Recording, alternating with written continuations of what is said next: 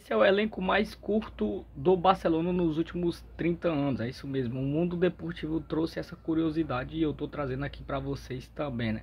O gol temos apenas dois goleiros ali, né? O Ter Stegen e o Iaki Penha. O outro goleiro é da base, não tá aí na lista é, do elenco. Nas, na lateral direita temos João Cancelo e Sérgio Roberto.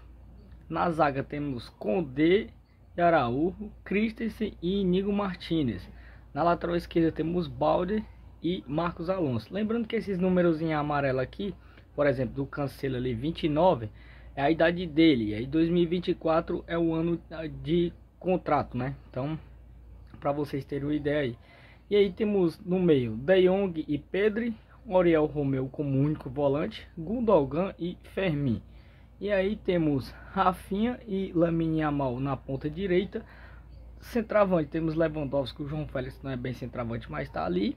E na ponta esquerda temos, temos Gavi e Ferran Torres, ou seja, um elenco muito curto, apenas duas peças para cada posição. Se um se machucar, meu amigo, aí o Barcelona vai ter que ir no mercado ou na base buscar jogador, porque tem dessas coisas também, né?